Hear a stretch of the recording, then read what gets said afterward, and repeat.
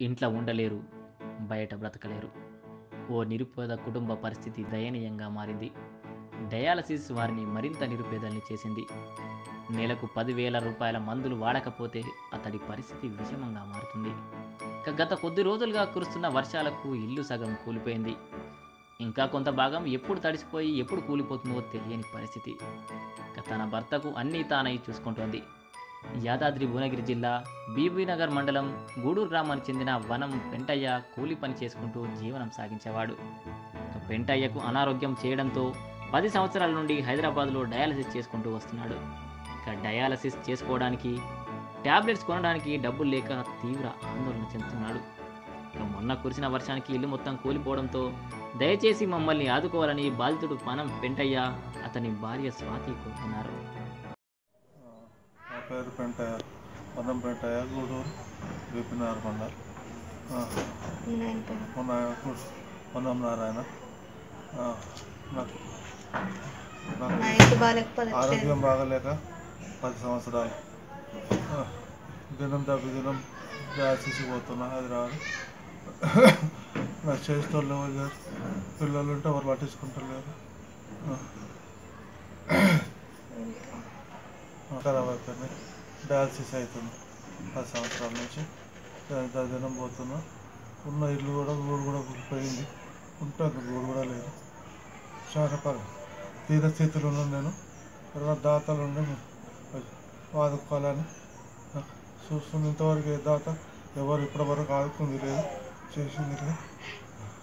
ఏదో తులం చాలా పరిస్థితి చాలా ఘోరంగా ఉంది నా పరిస్థితి. అదే మా సంఘం నుంచి అప్పటి నుంచి వస్తుంది. రెండు సంవత్సరాలు రెండు వేలు వస్తుంది. రెండు వేలు. వస్తుంది. నెలకు పదివేలు పదివేలు కంటిన్యూగా పదివేల మందులు అయితేనే లేస్తా లేకపోతే లేవా? ఆ, నెలకు పదివేలు మందులు కావాలి. పోతాను రోజు దిన దిన వెయ్యి రూపాయలు కావాలి. హిమాయత్ నగర్ సత్య కిడ్నీ హాస్పిటల్ దాంట్లో కిడ్నీ హాస్పిటల్ కాబట్టి ఆ సంవత్సరాలు కంటిన్యూగా. దిన కంటిన్యూకి పోతున్నా. వాళ్ళు ఇప్పుడు ఆరోగ్యశ్రీ మీద వాళ్ళు ఒక డ్యాన్స్ ఒకటి చేస్తారు వాళ్ళకి కావాల్సిన మందులు ఇందులు రోజు సూదులు కింద మొత్తం రోజు మనం ఇచ్చారు మరి నేను తెచ్చుకోవాలి నేను ఇస్తాను తెచ్చి ఇస్తారు వాళ్ళు. వాళ్ళు ఇవ్వట్లేకపోతే వాళ్ళు ఒక డాన్స్ చేస్తారు వాళ్ళు. సూదులు గదులు నేను తెచ్చి నేను తెస్తేనే సూదులు ఇస్తారు లేకపోతే ఇవ్వాలి ఇప్పుడు ఇక్కడ ఉన్నట్టు చెప్తాక గోడ కూలిపోయినప్పుడు ఒకసారి పెద్ద కొంచెం కూలిపోయినప్పుడు వచ్చి ఫోటో తీసుకొని పోయారు అది అది ఏం లేదు మళ్ళీ ఉన్నది ఆయనతో పోయింది. మొన్న మొన్న- వారం బాగా పడ్డప్పుడు ఆయనతో కూలిపోయింది.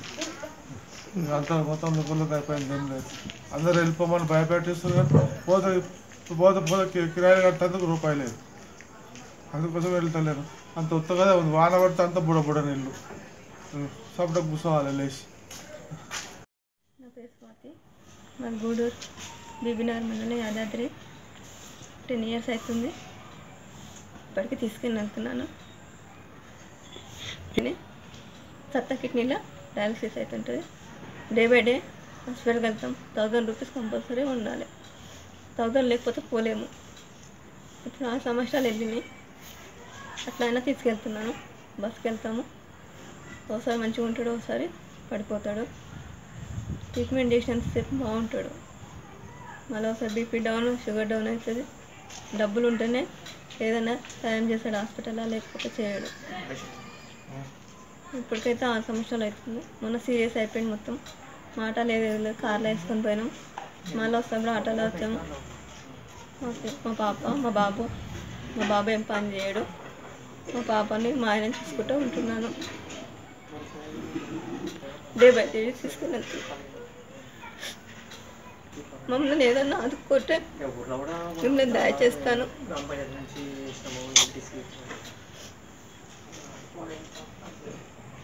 ఇప్పటిదాకా అందరి దగ్గరికి వెళ్ళాను. లాక్డౌన్ అప్పటి నుంచి ఎవరు మాకు సాయం చేయలేరు. ఇట్లా అయినా కూలి పని చేసుకుని వెళ్ళి తీసుకెళ్ళాను.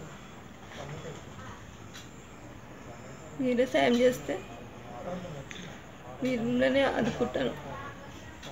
మీరే సాయం చేయరు ఏదన్నా మా ఆయనకు నాకు మా పాపకు. మిమ్మల్నే నమ్ముకుంటున్నాము. ఇప్పటికీ పది మంది దగ్గరికి వెళ్ళాను ఎవరు సాయం చేయలేరు.